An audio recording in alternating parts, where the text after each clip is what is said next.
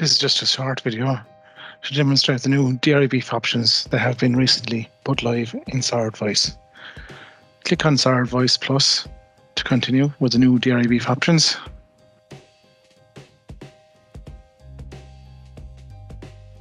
Here you can select cows for dairy breeding that are above 140 or, or and, and alternatively cows that are underneath 140 should be selected for beef. We'll just complete this now for the video. I have now hit enabled. This is a new function. This will generate both a dairy and beef mating for you when you run Sire Advice. This is a new option here in the new Sire Advice Bull Selector screen. Beef bulls now can be selected that are suitable to use in the dairy herd. The other options available here, as you can see, is sexed, not sexed, uh, you, and this that applies to both dairy and beef bulls there. So the beef bulls there can be selected, and that generates the best mating in terms of minimising calving difficulty and maximising the potential dairy beef value of the calf being born. We'll proceed now to the next stage. Uh, as you can see now, I have a dairy bull team selected, and if I want to review uh, my new dairy beef bull team. I can review it, review it here on that arrow key, and the dairy beef index of this bull team is 133 euros. So I can add a bull in or take a bull out now if I so wish. But I'll just proceed out to the next stage. As you can see here now, the categories will appear. This is my dairy cow allocation and my dairy sires chosen for my dairy cow team. This is my dairy sires chosen for my dairy heifers. And this is now my dairy beef sires chosen for my cows.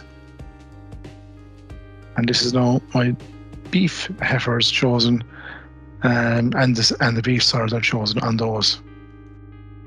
This will now generate results on the dairy side and on the dairy beef index um, on the new dairy beef matings.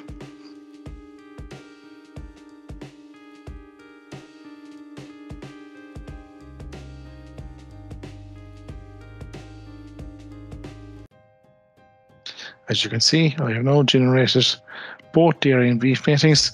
These are females I had selected for beef only at the beginning of the female selectors stage. I have now generated both dairy and beef matings. The beef matings will be as such on standby if I need to send them through when I'm finished dairy AI. If I am now happy, I can save and send to handheld, or if I wish to review these matings, I can download the PDF. This this my um, dairy bull team. These are now my DBI or my beef bull team as such to be used in my dairy cows and heifers. That's a quick, a quick overview of all the bulls selected. And you can see now on the PDF, the there is both the dairy and beef matings and the the ones I specifically selected at the beginning for beef mating. And this is how it will appear also on your Herd Plus breeding chart when they will be posted out to you there. So you might have noticed this on the landing screen if I wish to send through um, the dairy beef matings uh, when I finish my dairy AI, that might be after week three or week four, or possibly at the end of May or the start of June. Typically, I can now select this dairy beef matings, and they will be the beef matings that will go directly to my Technician's Handheld or Herd Plus app if I so wish. Any other questions, please contact us here on Herd Plus team.